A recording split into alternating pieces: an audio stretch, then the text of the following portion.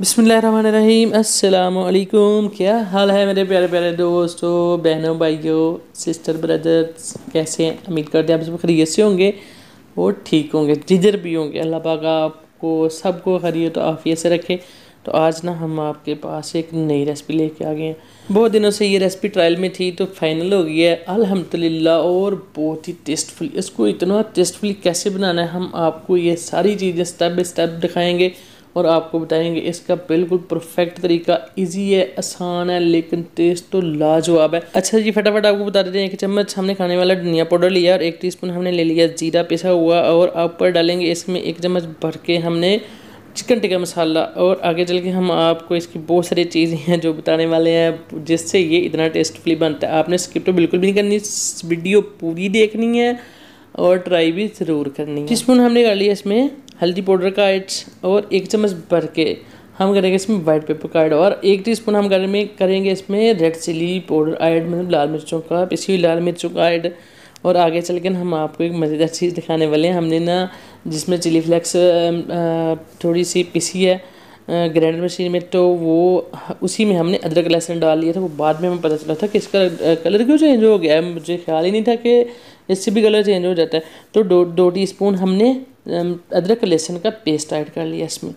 और ऊपर से करेंगे तीन से चार चम्मच दही का ऐड और एक टीस्पून भर के नमक का ऐड करेंगे। नमक एक टीस्पून बिल्कुल परफेक्ट था, ना कम था, ना ज़्यादा था, बहुत ज़्यादा नमक हो जाए ना चिकन रोस्ट में तो फिर वो ना प्यास बहुत लगती है, इसलिए हम इसमें मतलब बराबर ही रखते हैं, बहुत ज़्यादा नहीं। आप चाहें तो ज़्यादा कर लें, पर इनको कर लेते हैं अच्छी से, अच्छी तरह मिक्स मिलाने के बाद आगे चल के हम इसमें और चीज़ें दिखाने वाले हैं, जिससे ये रेसिपी बहुत ही टेस्टफुली बनेगी। ले लिया जी, सोया सॉस का हमने एक टीस्पून इसमें आपने ऐड कर लेना और एक टीस्पून से थोड़ा सा कम है एक टीस्पून कर लेंगे इसमें मस्टर्ड पेस्ट का ऐड मस्टर्ड पेस्ट आपने बहुत ज़्यादा ऐड नहीं करना ये बहुत तेज़ होता है इसका टेस्ट बहुत तेज़ होता है तो फिर ना चिकन भी गड़बड़ कर जाता है। अपने जितना बता रहे हैं, इतना ही ऐड करना है। एक टी ही हम इसमें कर लेंगे चिली सॉस का ऐड और एक चम्मच खाने वाला, एक चम्मच इसमें करेंगे सिरका विनेगर का ऐड और फिर से इन चीज़ों को अच्छी तरह मिला लेंगे। अच्छा जितनी चीज़ें आपने बताई ना, देख लें हमने, कुछ चीज़ें टीस्पून में बताई हैं, कुछ चम्मच में बताई हैं। आपने इतनी ही डालनी है, वरना फिर नहीं कहना ना कि सही नहीं बनी। और जो हम बता रहे हैं आपको रेसिपी बिल्कुल न्यू और बहुत ही टेस्टफुल है इसमें इसमें जो असल टेस्ट डेवलप होगा, वो आगे चल के हम आपको बताते हैं।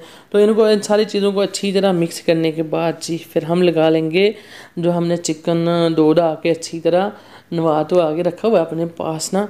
तो जैसे ये चीज़ें अच्छी तरह मिक्स हो जाती हैं तो फिर साथ ही कर देंगे। इसमें चिकन ऐड चिकन को भी आपने कट वगैरह लगा लेने हैं, जैसे कि गहरे कट लगाने हमने भी लगाए हुए हैं देख लें आपके सामने ही है।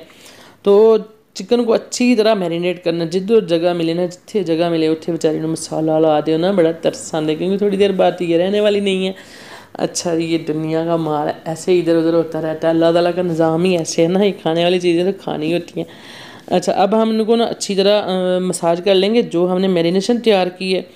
तो वो जब तक मेरीनेशन होती है ना, फिर हम आपको बताते हैं कि इसमें आगे चल के ना जो, जिस चीज़ से असल एक चीज़ है, जिससे इतना ज़्यादा टेस्ट इन्हेंस होता है ना, वो हम आपको आगे चल के दिखा देंगे, जब उसमें ऐड करेंगे। अच्छा जी, देख लें सिंपल है, आसान है इजी है, कोई इतना झंझट नहीं, ना प्याज काटने पड़ते हैं, ना टमाटर, ना मिर्चें, इतना सारा झंझट नहीं करना पड़ता, लेकिन ये इतनी टेस्टफुल है ना मैं खुद अपनी रेसिपी जो पहले मैंने बनाई होती है ना, मेरा दिल करता है फिर दोबारा बनाऊँ और मैं वो स्किप कर देता हूँ, नहीं बनाता हूँ, क्योंकि आगे से अलहमदिल्ला इतनी अच्छी रेसिपी आ जाती है, इतनी अच्छी रेसिपी रेसिपी तैयार कर लेते हैं कि पहले वाली तो बस रह ही जाती है। तो पैन ले लिया, पैन में हमने अच्छा खासा ऑयल ऐड कर लिया। ऑयल हमारा गर्म होने के लिए हमने पहले रखा हुआ था, आप चेक कर लेना थोड़ा सा, जो मेरीनेशन है थोड़ी सी इसी तरह छिड़क के देख लें, जैसे हमने देखिए अगर तो वो ऊपर उठ जाए ना, फ़ौरन तो समझ लें आपका ऑयल जो है गर्म है अच्छा आयल हमने ना बहुत ज़्यादा नहीं इसमें डाला मतलब इतने डाला जिसमें हमारा चिकन हाफ़ सा ना इसमें डिप हो जाए। क्योंकि बहुत ज़्यादा इसको डिप करेंगे ना तो फिर एक तो तेल काफ़ी ज़्यादा मतलब ज़ाया होता है। इस रेसिपी के बाद तेल जो बचना है ना, वो है तो काबिल इस्तेमाल मतलब इस्तेमाल कर सकते हैं। मैं करूँगा वो ऑयल ये वाला ऑयल इस्तेमाल। लेकिन ना वो फिर रेसिपी बनाने के लिए नहीं रहता, क्योंकि उसका कलर काफ़ी काफ़ी हद तक चेंज होता था। तो अब ऑयल में चिकन को आराम से रख लें और जो मैरिनेशन बच गई ना हाथों की मदद से ऊपर लगा लें।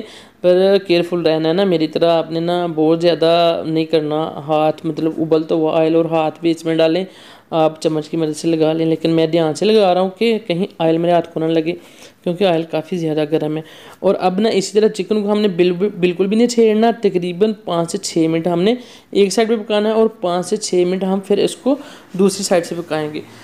दोनों साइड पकाने के बाद हम आपको आगे चल के बताते हैं ये चिकन को हम काट लेंगे तीन से चार पीस कर लेंगे इसके। आप चाहें तो इसको फुल भी रहने दें इंशाल्लाह फिर कभी ज़िंदगी रही तो फुल बना लेंगे। कोई बड़ी कढ़ाई में ये भी ठीक थी लेकिन ना मैंने काट ली थी क्योंकि लोग भी ज़्यादा थे तो मैंने बोला सारे हिस्सा जो ना मिल जाए इस तरह नहीं करना सी ਉਹਦੇ भी खोना सी ਉਹਦੇ भी खोना सी फिर सारा देखना ਪੈਂਦਾ ना हूँ तो मैं सबसे छोटा लेकिन सबको मैनेज करना पड़ता है बड़े हैं मेरे साथ जो काम करते हैं तो उनका भी ख्याल रखना पड़ता है ना फिर नहीं तो फिर लड़ते रहे ਉਹ ਮੈਨੂੰ ਥੋੜਾ ਮਿਲਿਆ ਤੇ ਉਹਨੂੰ ਬਹੁਤਾ ਮਿਲਿਆ ਇਸ ਤਰ੍ਹਾਂ ਵੀ ਹੁੰਦਾ ਹੈ ਨਾ ਤੇ ਫਿਰ ਨਾ ਮੈਂ ਇਸ ਲਈ ਇਹਦੇ ਪੀਸ ਕਰ ਲਏ ਸਨ ਤੁਸੀਂ ਚਾਹੋ तो पूरा फुल रख सकते हो अगर चाहो तो ज़्यादा पीस भी कर सकते हो लेकिन पीस आपने इसको दोनों साइडों से पाँच से छः मिनट पकाने के बाद मतलब 10 से 12 मिनट इसको कुक कर लेना है, फिर इसको निकालेंगे थोड़ा तीन, चार से पाँच मिनट तक ये ठंडा हो जाएगा, जैसे मतलब पकड़ने के लायक हो जाए तो आप इसको काट लें छुरी से या किसी भी चीज़ से। तो देख लें, हम काट के ले हैं, चिकन को दोबारा वापस। असल असल बात अब ये है कि जैसे ये चिकन ठंडा हो जाएगा ना तो फिर जब ऑयल में ऐड करेंगे ना तो फिर ये इतना जूसी और इतना अंदर से सॉफ्ट और मज़ेदार बनता है ना तो ऊपर से हमने इसको क्रिस्पी कर लेना है। इसी ऑयल में आप देखते हैं कि काफ़ी ज़्यादा आपको क्रिस्पी नज़र आ रहा होगा, काफ़ी ज़्यादा डार्क सा है। मतलब ये इसी तरह हो तो खाने के लायक होता है, खाने वाला मज़ेदार बनता है। ये जला हुआ नहीं है, लेकिन डार्क है, बहुत ही मज़े अब असल चीज़ हमने इसमें ऐड कर दी ये चिली फ्लैक्स हमने ऐड की है। कुटी दरदरी लाल मिर्च इससे तो जो टेस्ट आता है ना वो ना पूछें आप ओहो मैंने मैं पछता रहा था मैंने पहले क्यों नहीं ये ट्राई की तो आज क्यों की है चलें बहरहाल जब किस्मत में होनी थी तब भी मैंने करनी थी ना अल्लाह का शुक्र है तो अब ना तीन से चार मिनट हमने साइड चेंज करके दोनों साइडों से बस दो दो तीन तीन मिनट हमने चेंज साइड चेंज करके लो टू मीडियम फ्लेम पे पका लेना है पहले भी जब चिकन पकाया हमने तो स्टार्टिंग से लेके एंड तक low to flame low to medium flame पे हाई फ्लेम पे बिल्कुल भी नहीं कुक करना है। तो अब इनको निकाल लेते हैं।